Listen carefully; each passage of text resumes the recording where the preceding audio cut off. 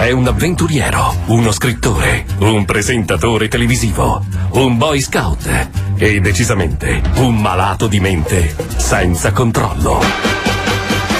Si guadagna da vivere mangiando merdate nei boschi, violentando orsi e succhiando vermi. Lui è quello di Wild. Lui è Bear Grylls.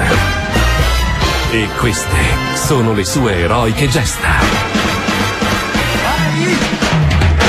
Ogni volta che un ghiacciaio si scioglie, Bear Grylls raccoglie tutta l'acqua nella sua borraccia, scava un nuovo fiume e costruisce una diga con la sola forza delle sue mani, dalla quale fare bungee jumping nei tardi e noiosi pomeriggi d'estate.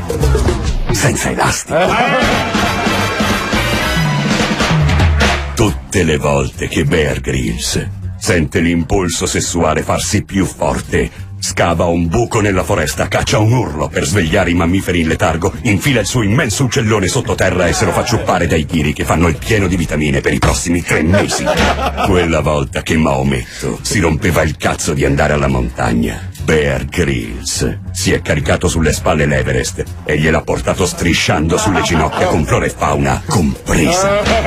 J.J. Abrams ha svelato cosa fosse il letale fumo nero di Lost. Erano le scoregge di Bear Grylls dopo che aveva mangiato un macaco vivo.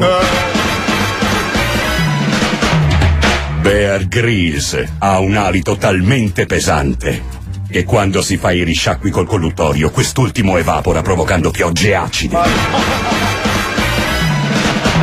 Pare che il Bigfoot, lo Yeti e il mostro di Loch Ness possano vivere, ma in gran segreto.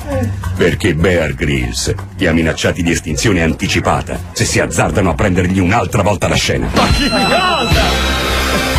Una volta Bear Grylls è sfuggito alle sabbie mobili, inghiottendo.